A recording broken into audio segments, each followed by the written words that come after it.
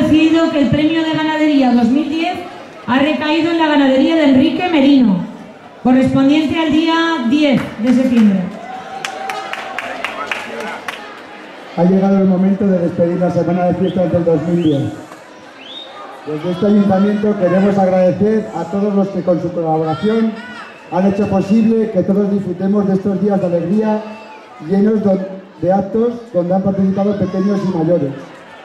A las peñas, quintos, asociaciones y cuadrillas y vecinos que se han esforzado en que todos pasemos unas felices fiestas, muchas gracias. A la Comisión de Festejos y a la Brigada Municipal que han estado pendientes a cualquier hora del día y de la noche para que todo estuviese a punto, muchas gracias. Aquí terminan nuestras fiestas y comienza la preparación de las del año que viene.